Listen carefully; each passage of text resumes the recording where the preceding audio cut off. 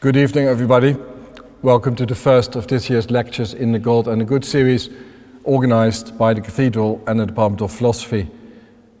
My name is Henk de Berg. I'm a professor in the School of Languages and Cultures and one of the two directors, together with Evgeny Dobrenko, of the Prokhorov Center, which sponsors this lecture series together with the university's Global Humanities Initiative. Our speaker this evening is John Gray, author of the book Seven Types of Atheism. As usual, we will have the lecture first, and then there will be a question and answer session. That session will be led by my colleague Bob Stern, professor in the Department of Philosophy. After that, there will be a short book signing event at the bookstall over there, where you will be able to buy some of John Gray's books. Now, I have to tell you, when Bob Stern told me, emailed me, that he'd managed to get John Gray for this lecture series, I was immediately very enthusiastic because I'd always wanted, I'd always wanted to read John Gray's Men Are from Mars, Women Are from Venus. what is more, I knew that in the Jessop West building in which I work on the fourth floor, and where on the ground floor there are always some free books lying around, I knew I'd seen a copy there of Men Are From Mars, Women Are From Venus. So upon receiving Bob's email, I immediately rushed down to get that copy. It was still there. With the book securely in my possession, I then returned to my office and decided to find out a little bit more about John Gray. So I Googled him, as one does, and there he was, complete with photograph. John Gray, American writer, author of Men Are From Mars, Women Are From Venus.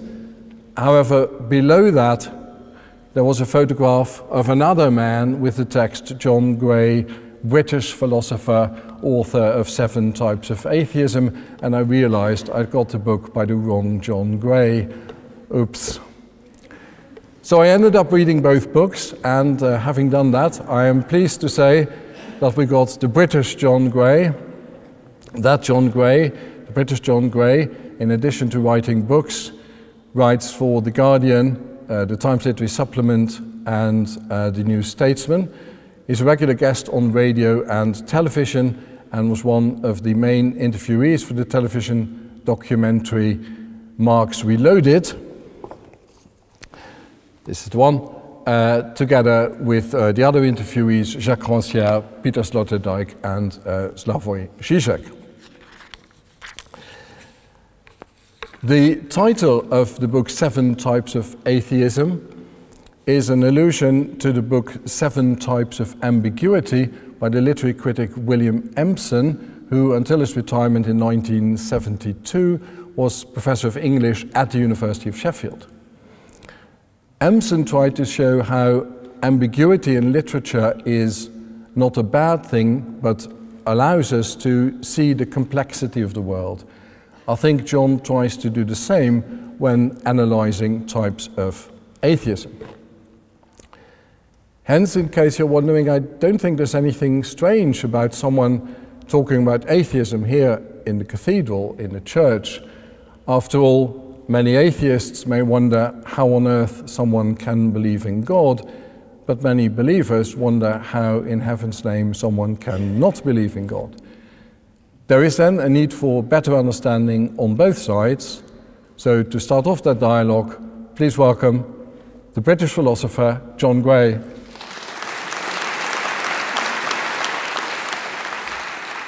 Well, first of all, thank you all for coming here tonight.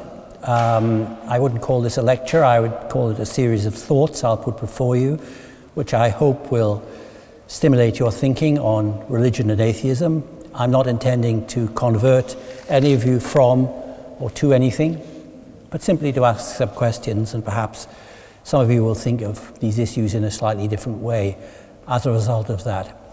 I was about to say I didn't uh, know uh, um, uh, Henk had uh, misidentified me as the other John Gray, but he's not the only person to have done so. Um, I was told a few years ago that a well known person had walked into a bookshop at Piccadilly Circus and asked for John Gray's book. They gave him the Man and Venus book. He walked out and was later heard to have said that wasn't very interesting. The person was David Bowie.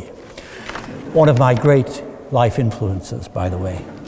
Um, so it has happened. Um, it doesn't really matter much. What am I going to talk about tonight? Well, I want to ask the question and actually show how difficult it is to answer the question what are atheist values? What values do atheists have? And where do these values come from? Now, I'll be upfront with you, and it's a sign, I think, as Henke said, of the tolerance and freedom of thought that goes on in many churches today, which is I am myself an atheist. So I speak as an atheist, not as a Christian, not even as a Christian camp follower or a hidden or closet theist, but an atheist, not an agnostic. And um, perhaps I should say what I mean by that when I say that I'm an atheist. What I mean by that is an atheist to me is someone who either rejects or just doesn't need or use the idea of a creator God, a divine mind that fashioned this world and human beings in it. So you're an atheist, in my way of thinking, if you either reject that idea or just don't have it. Now, that I think you'll see is quite, although it's a very basic sort of minimalist type definition or formula, it has some consequences which maybe are not so obvious, which is that if you understand atheism in this way, one thing that will follow is that there are atheist religions. Because there are religions in the world, old religions, uh, religions which have had millions and hundreds of millions and still do have hundreds of millions of followers, in which there isn't anything like a creator God that fashioned this world. Most kinds of Buddhism, for example, reject the idea of a creator God and even the idea of an individual soul. They explicitly reject it. So, theism, if you like, which is the belief or the assertion that there is a, a divine mind that created this world and God in it and human beings in it, and furthermore, in many accounts, is the source of what's valuable in the world, underwrites the goodness in the world. Atheism, uh, theism, and religion aren't the same. You can be uh, religious without being a theist, and hundreds of millions of Buddhists or Taoists or Confucians or Shintoists and many others, animists who believe that the world is full of hundreds of mini gods but that there is no creator God, they would all be in this minimalist understanding atheists, but they'd also be practicing their different religions. And equally, and I'll come to this later, uh, there can be, when a, a, certain type of atheism, a range of types of atheism that have uh, developed in Europe and in the West and other parts of the world over the last few hundred years, there can be types of atheism which are very like monotheism, which even reproduce many of the ways of thinking of monotheism while rejecting its, some of its beliefs, that are themselves religions. Religions in the sense that they have many of the same kind of practices, dogmas, heresies and heretics. Uh, they satisfy the same psychological needs, and they have many of the same essential messages, but leave out, uh, uh, or attempt to leave out, uh, a creator God. So um, that's what I, uh, how I think of myself. I think of myself as an atheist in the sense that I, I don't have that idea. I also think that, uh, that this is a slightly different question. I also think that this life is all that I can be sure of, and that when I die, that's it. I'm gone. Uh, nothing left. The story's over. And that may be important because I think one of the roots of religion, in both its theistic and other forms, is the shock of mortality. How do we differ from the other animals? Uh, I accept broadly the Darwinian theory as the best approximation of the truth, which is that we are animals, not like animals, we are animals. Our minds are animal minds. They've evolved in the way that other mind, animal minds have evolved. Um, uh, uh, but how do we differ from other animals? Some people say we make tools, we have languages, uh, we reflect upon ourselves. I think the main difference, or the one which has very profound and far reaching effects, is that unlike the other animals, we know that our lives are finite. It may be that elephants and some other animals have a kind of instinctive response to the death of their kin, of other elements, but it looks as if we are the only animal, as far as we can tell, which has a definite clear understanding, not of what death is, because actually none of us knows. I simply act on the assumption that it's the end for me. I don't actually know. But we have the definite understanding that our lives are limited and finite and are going to come to an end. And that, I think, changes everything for us because it means that, unlike the other animals, I think we're inclined, constitutively, you might say, by being human, to try and construct our lives in the form of a coherent story. Uh, because we know it's going to end, we, we, we have a deep seated need to find a meaning in our lives, both individually and collectively, as a coherent story, which in some sense diminishes the shock of death. And um, other animals aren't like this. Um, I may entertain or surprise or amuse you by telling you that my next book is about cats. Uh, cats and the meaning of life.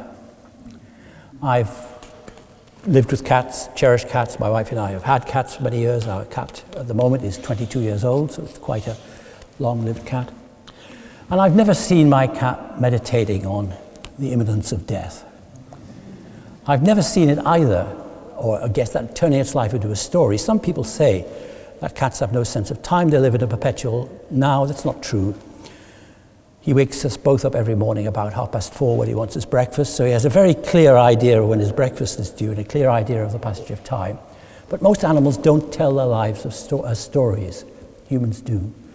The bleak birth, copulation, death, T.S. Eliot, is too little for human beings to tolerate, especially since any story that they might be able to contrive around that, those bare facts, can be disrupted if not by their own death, then by the death of their loved ones.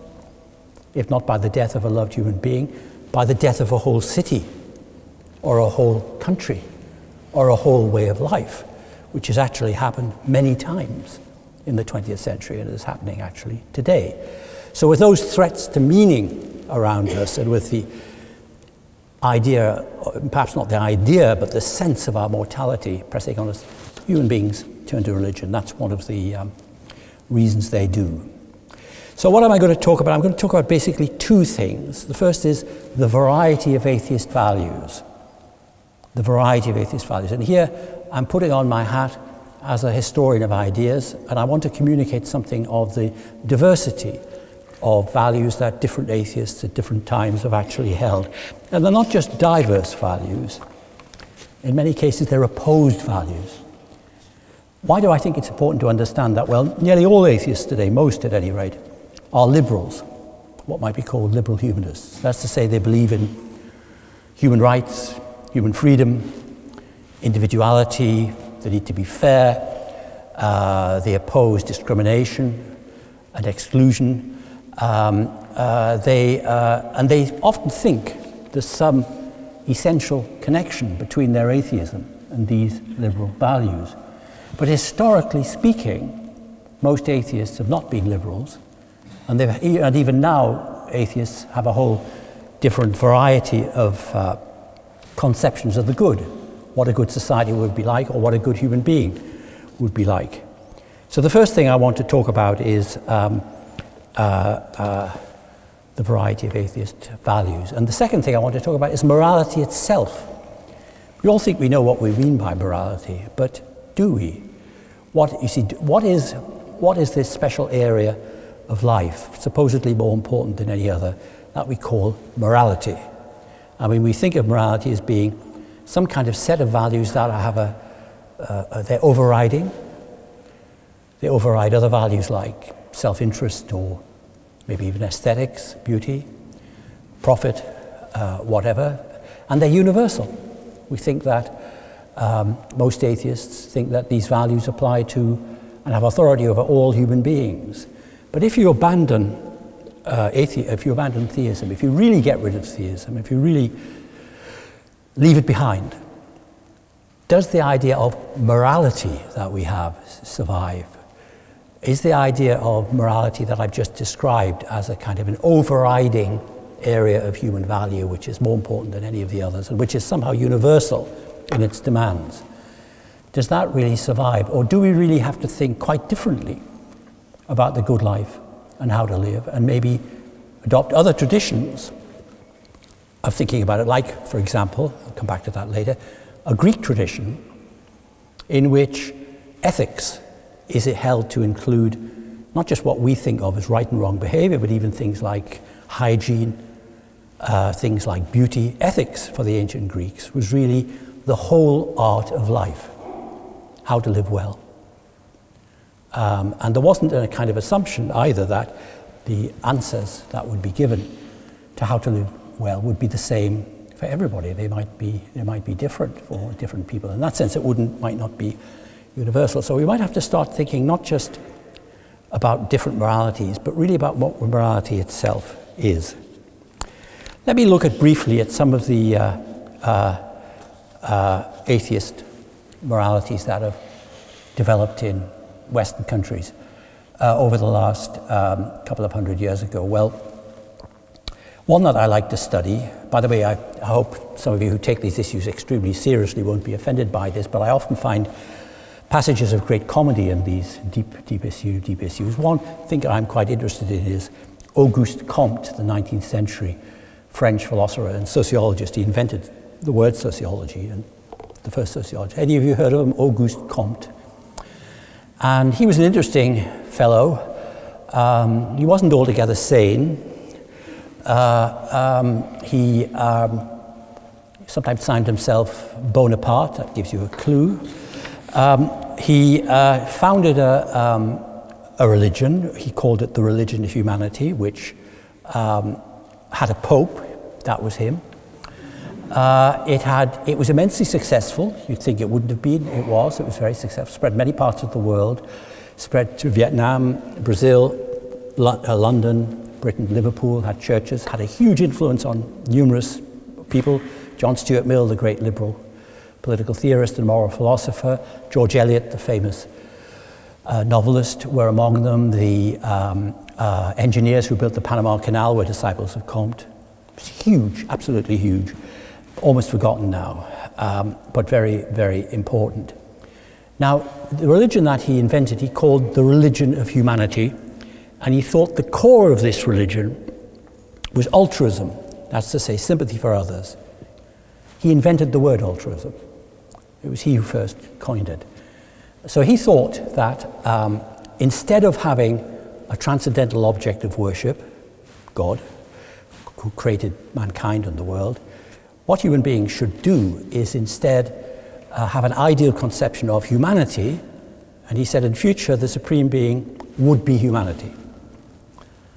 It's quite explicit about this, the supreme being. And he imagined a church with uh, uh, priests uh, model on the Catholic Church, and rituals. The rituals have a certain flavor today. One of the rituals he favored and instructed his followers copy, co- uh, follow and adopt was uh, one in which uh, he was, I should mention, he was a phrenologist. You know what that means? He believed that the emotions and movements of the human heart and soul were determined by, or could be gauged by bumps on the head. So what he advised that they do every day, he was also a numerologist, is that they touch the bumps on their head on the, uh, where the impulses for benevolence and altruism were placed. And if they did that regularly several times a day, they would become more benevolent and more, and, and more, and more generous. He also invented a type of clothing, positivist clothing, with the buttons up the back.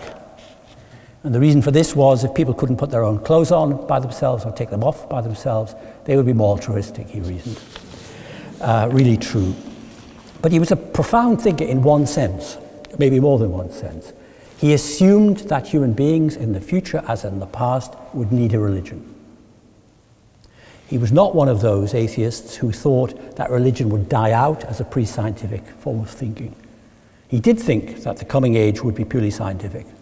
But for that reason, what was needed was a religion based on science and um, uh, compatible with science and based on science. And this was the religion of humanity. Now, interestingly for us today, uh, he had a huge influence, but he was not what we would now call a liberal.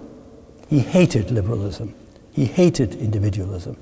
He said that what he wanted was uh, a world to recreate a kind of society like the Middle Ages, but without God and without, without Christianity, with a different religion. It would be hierarchical, there'd be experts at the top. He said the experts at the top would answer all the ethical questions. You'd say, Should I marry so and so? You just put something in the post and with the details, you'd eventually get an answer. That's not really caricaturing it. He thought that what could be, uh, that moral knowledge could be turned into a science, that there could be a science of ethics. Many people today still think this. Um, Sam Harris, the American new atheist, thinks exactly this, though I don't think he's ever read uh, uh, Comte.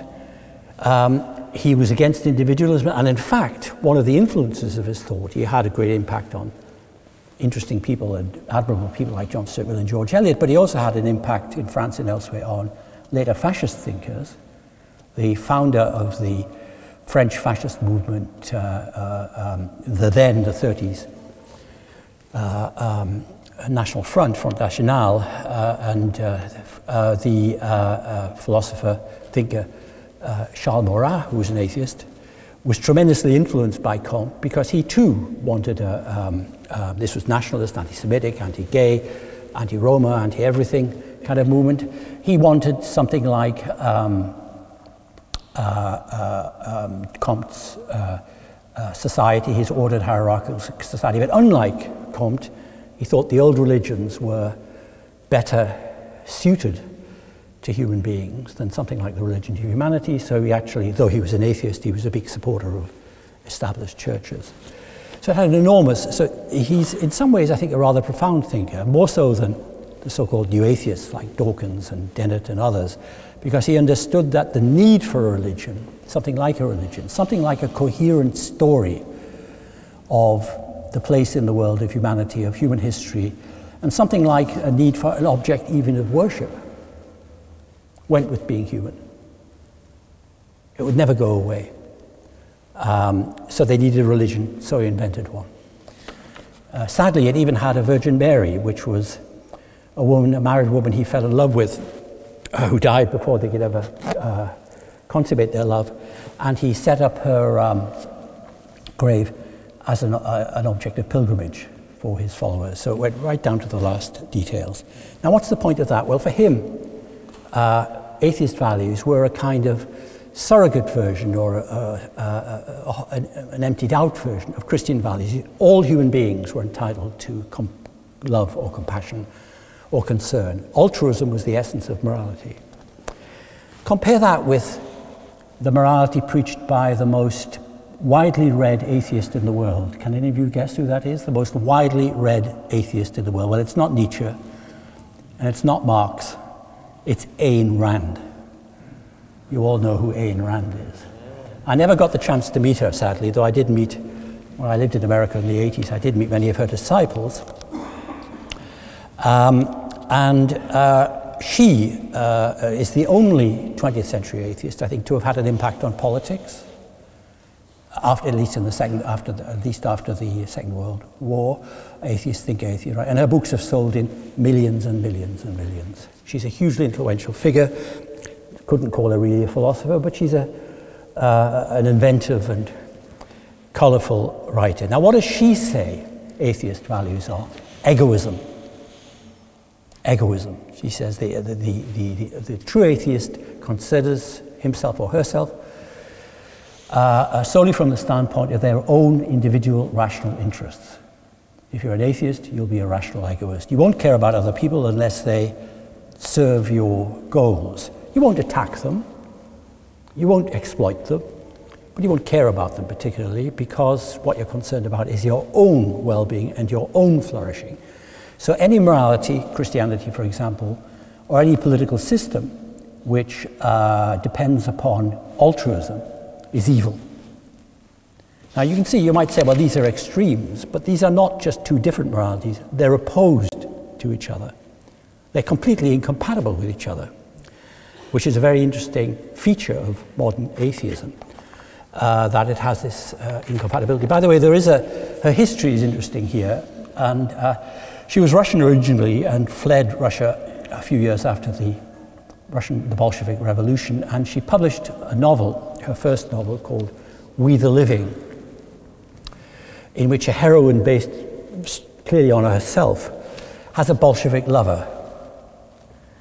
And uh, I was very interested to manage to get hold of, read, consult a copy of the first edition of this because uh, in a library in California originally, because it was impossible to buy that except for a, a first edition because she'd gotten rid of certain passages in subsequent editions. And the passages she'd gotten rid of, which she said were irrelevant, they were minor, they were of no importance, they were very important and very interesting. Because they showed that, like many people at the time in Russia, like almost every literate, per, literate person in Russia at the time, 1890 up to about 1920, she was deeply influenced by Nietzsche, or a rather vulgar interpretation of Nietzsche anyway. So she has one particularly vivid conversation between herself, with a different name, and a Bolshevik lover, in which she says, You know, I detest your ideals. I abhor your ideals. For me, humanity is just there to be trampled on and ignored, except when there are, there are exceptional, superior individuals. I loathe equality, but I love your methods torture, murder, enslavement. So she had this kind of, if you like, elitist view from day one, but she took that out of the first edition of her novel because she, perhaps because she thought, maybe rightly, it wouldn't go down too well in America.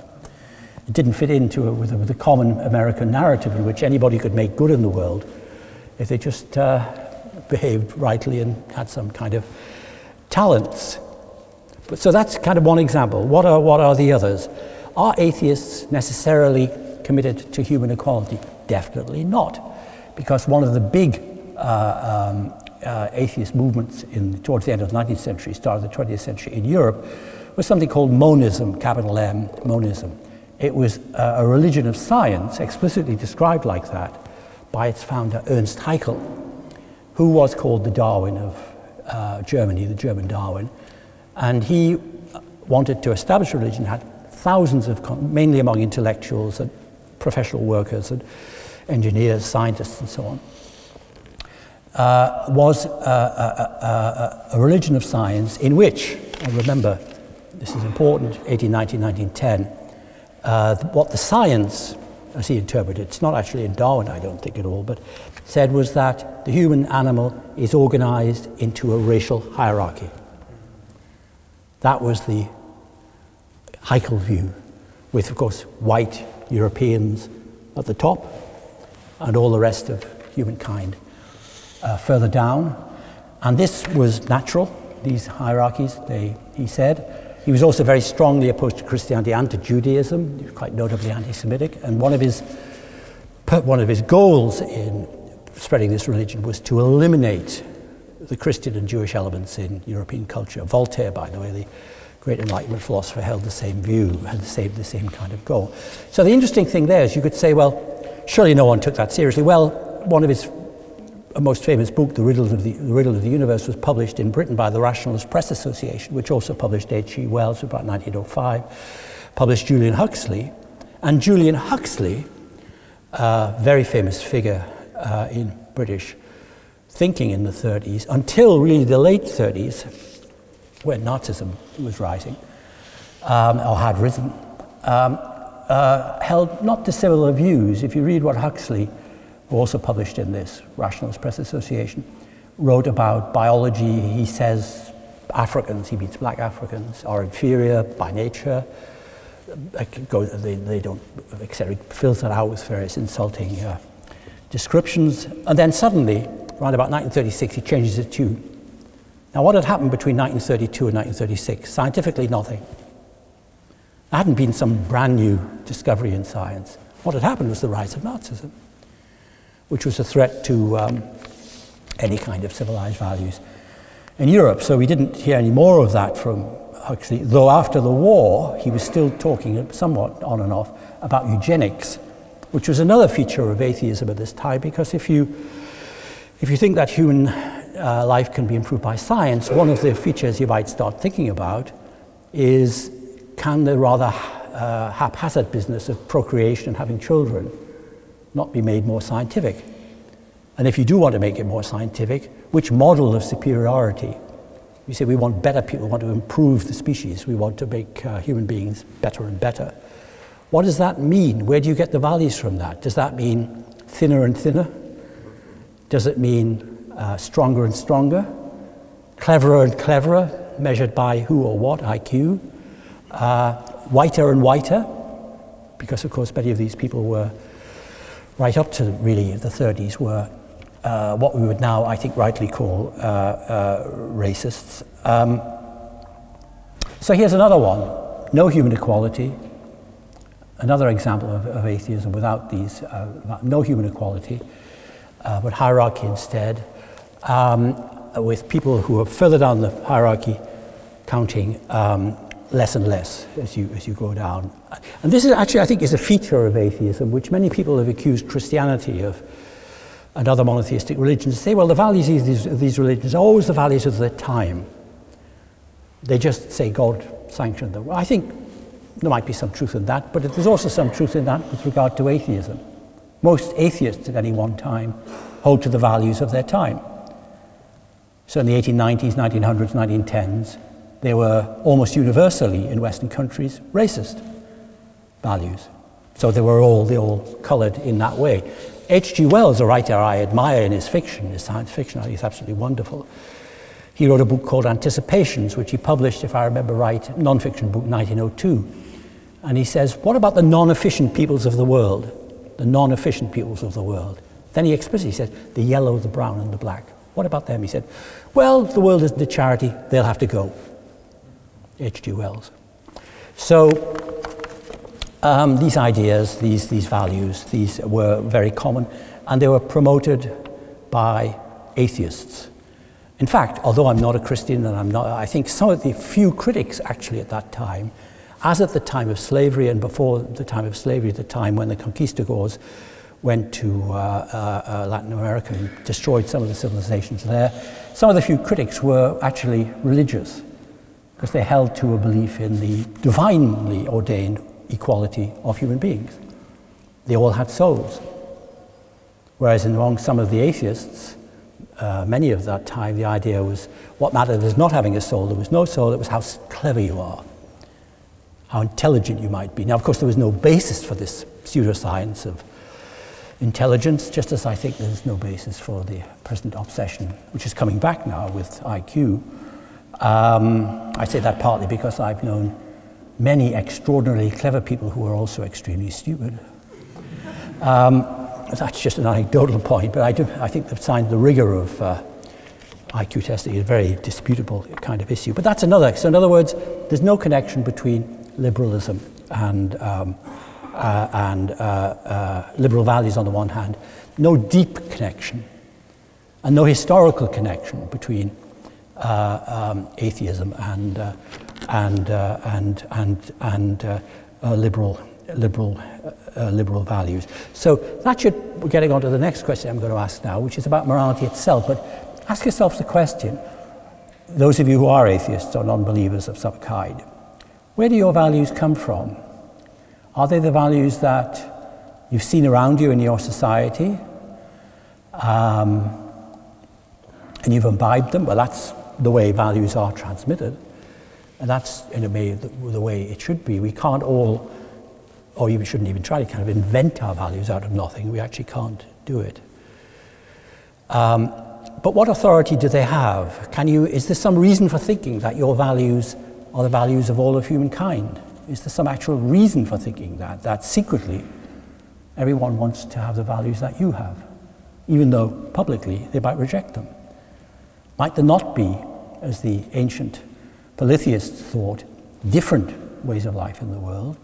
Some of them may be appalling, some of them may be deadly to us, so we'd have to fight them to the death, like the Nazis. Or uh, uh, are there just kind of many, or is there some one way of life waiting to be consummated, to be achieved? That, that history can be seen as a kind of process of convergence on this way of life. I think that view, that humanistic view, is a version of a theistic view because um, it's the idea that humankind, human, the human species, humanity, is a kind of collective agent that does things. We, humanity, abolished serfdom. Then we went on to abolish slavery. Then we went on to, to emancipate women to some degree. Then we went on to emancipate gay people to some degree, and so on. But actually, um, all of these things were good things, in my view, But they're not done by humanity because, empirically speaking, if you just rely on your on history, on your senses, on your observations, humanity doesn't do anything. It's not there. I mean, it's a species, it's an animal species like other species. Um, is, there a, is there a universal history of tigers? Tigers first colonized that part of Asia, but then they found that a bit constricting, so they decided to colonize Southeast Asia. No, there are just countless tigers, each doing different things, living their lives as best they can.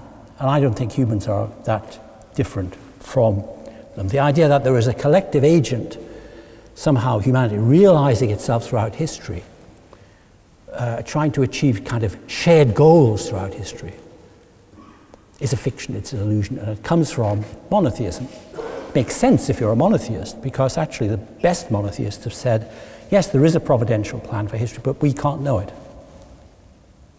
It's mysterious, beyond our reason. That's a view I respect. I don't share it, but I respect it. Um, um, but there's also a view which I don't respect, which says we've identified the logic of history, the pattern of history, where history is going, and if anybody stands in the way of that, they've got to be pushed out of the way. H.G. Wells, Stalin, Hitler. In other words, if there's some group which is non efficient, no use, Russian peasants, Roma people, Jewish people, they've got to be sort of removed. In the name of what? In the name of what sort of plan of human development? Um, uh, I think there is no such plan. I think history has no such logic or goal or end, and many people find that a depressing view, but I find it a liberating view because it means nobody can push anyone else around in order to achieve that plan because there is no such plan. It's just fiction. It doesn't exist, it never existed, um, and, and there never will be one. What about morality itself? What is morality itself? We all think we know that. Let me give you a, a, an anecdotal, not anecdotal, historical rather, example of someone who was tormented by this question. Uh, a, a semi forgotten figure now, known by some philosophers but not by many other people, is the Victorian Cambridge philosopher Henry Sidgwick, one of the great um, 19th century minds. Better moral philosopher than most of those who are, better philosopher in every way than most of those who are described as like John Stuart Mill, a brilliant man. And he sort of suffered, at least as much as a Cambridge Fellow could suffer, uh, from his doubts. Where in those days, to be a Fellow, you had to sign a, uh, a form or swear to a form saying that you accepted. I think, I'm not an Anglican, so I don't know. I think there are 29, or is it 39? 29? 39.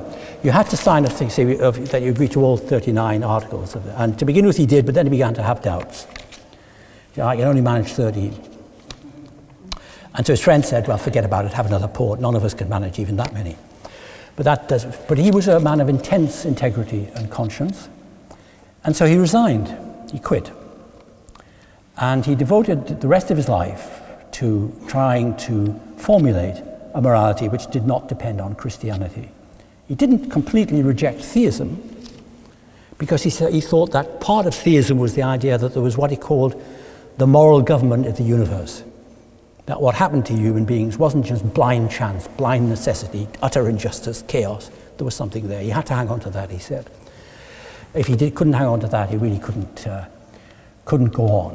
Uh, he was re-elected to a position, I think a professorship, because he was such a great mind.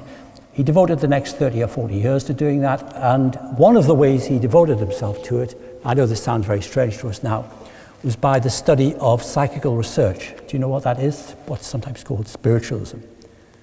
And the reason he did that is that he said that unless there is some further life beyond the grave, um, in which he assumed injustices could be corrected and seemingly chaotic and meaningless events were found to have meaning, then life was just a tale told by an idiot.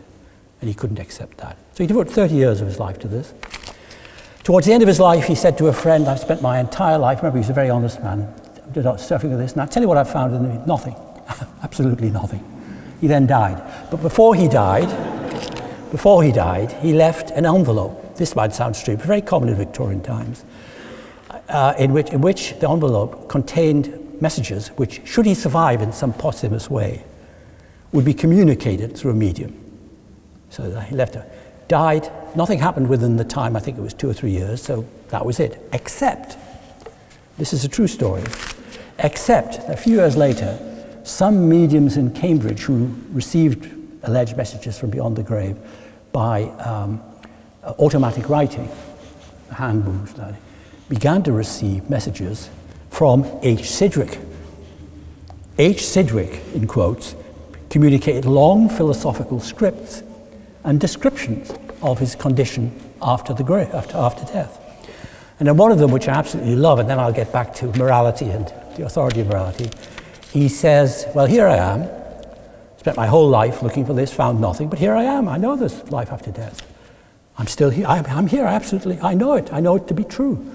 So it's just sort of amazing. He said, uh, There definitely is. I have the unalterable, correct, direct experience of being, my, uh, of being alive after bodily death. But there's only one thing I'm as baffled as I was before. and I sort of imagined him in some celestial Cambridge combination rooms turning around saying, How long have you been here? About 700 years, Earth time. Does anybody know what we're waiting for? No. So um, it's a true story. And th- then he had an aphorism, and he said, very unaphoristic writer, so this didn't quite gel. Uh, uh, he said, and so I've concluded that the uh, mystery of death is not solved by dying, just as the mystery of life is not solved by living. It's rather good, I thought. By the way, the explanation of how that could happen is that most of the mediums at that time were, doing the, were the spouses of Cambridge Fellows who'd known Sidgwick. So, um, now why is this relevant? Well, Sidgwick tried to find a non theistic foundation for ethics. That's to say, one not resting on God.